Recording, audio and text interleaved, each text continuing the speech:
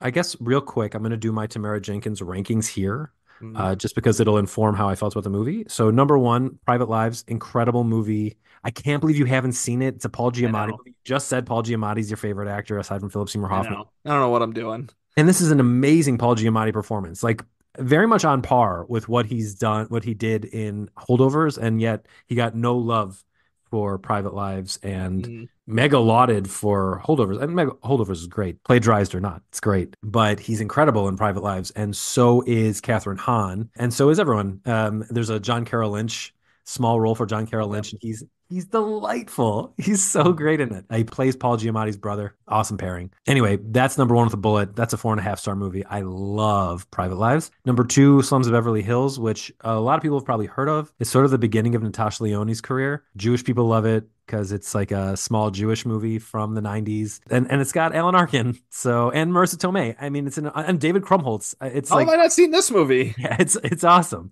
Um, that's that also is really good. It's uh, oh, and uh, what's his name? Scorsese's guy, Kevin Corrigan, just like killing. Oh yeah, I've met that guy. Really? Yeah, he uh the year remember I've talked about Big Fan on the podcast before. Hmm.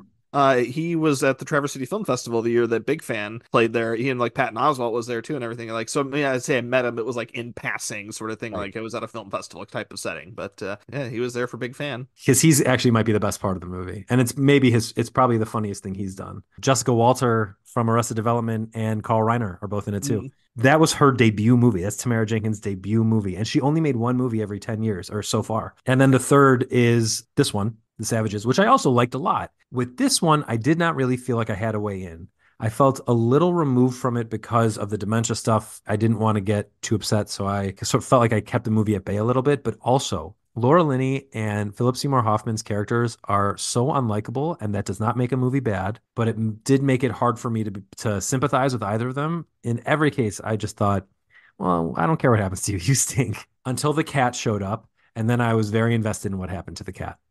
Genghis. Great name for Um, a cat. And Molly, the dog, Marley. Marley. Oh, that's weird that her name was Marley. Yeah. She was a golden retriever. And I think it was before yeah, it was before Marley and Me came out. The book too. Well, spoiler alert: this Marley doesn't die, and that is That's absolutely a spoiler for the end of this Yeah. movie. Uh, this Marley lives.